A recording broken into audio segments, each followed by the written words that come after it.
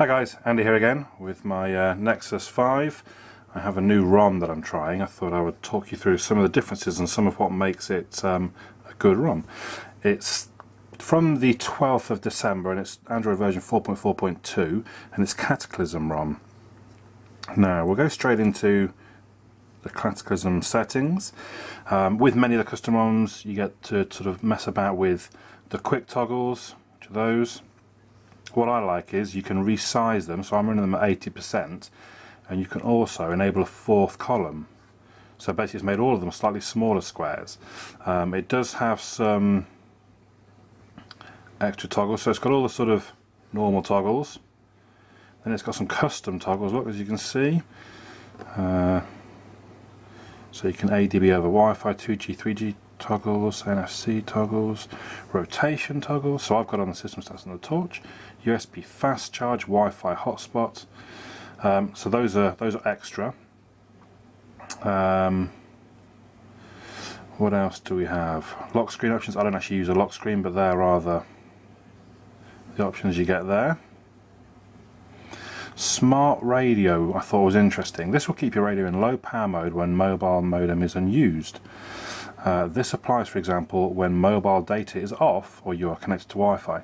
Now, I found that turning this on actually basically killed my uh, my cell connection uh, when the screen was off, or I think even when I was connected to Wi-Fi, it was saying emergency calls only.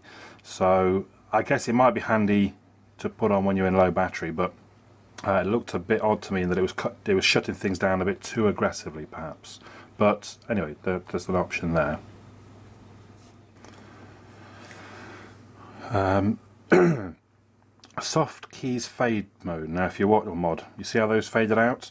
Um, so I've got it set for five seconds. You can change it to whatever you want, but effectively, as you saw, it just means.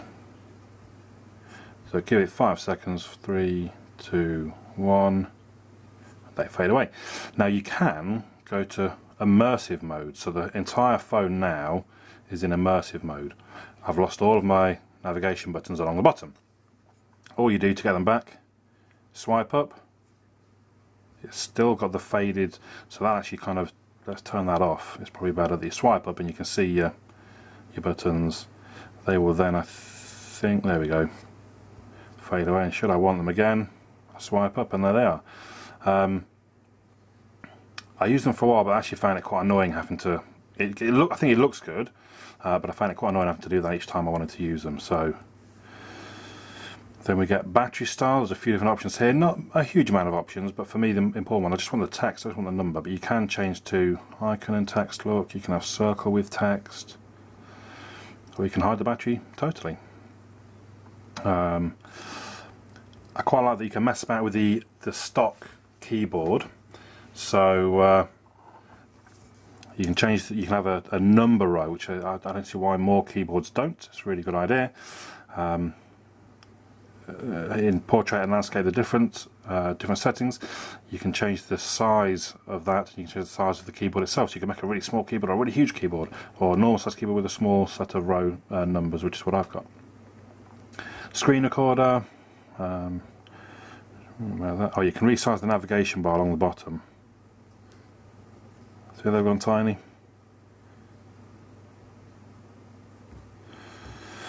Undo. Uh, app ops, so this got put in by mistake apparently by Google and then taken back out. You can still get it in this particular ROM to see what's what's accessed what recently basically. Um, so you can back up all your settings and you can restore your settings and I'm going to go now into the miscellaneous one which is, I hadn't, I hadn't seen this the first time I've been using ROM and um, I didn't realise basically how much there was in this miscellaneous bit. So I won't sort of stop at everything but it's got the usual things like long press back to kill an app, long press recent to go to task list, volume rocker wake so you can use the volume to turn the phone on, volume rocker for music control, volume rocker for cursor control. Um, some really handy stuff in there. I'd Spa clock, center the clock, which one I've got up. Again, I'll just let you have a look through. There we go to the bottom. Status bar brightness control, so you can just run your finger back and forth. Can you see that? to change the brightness.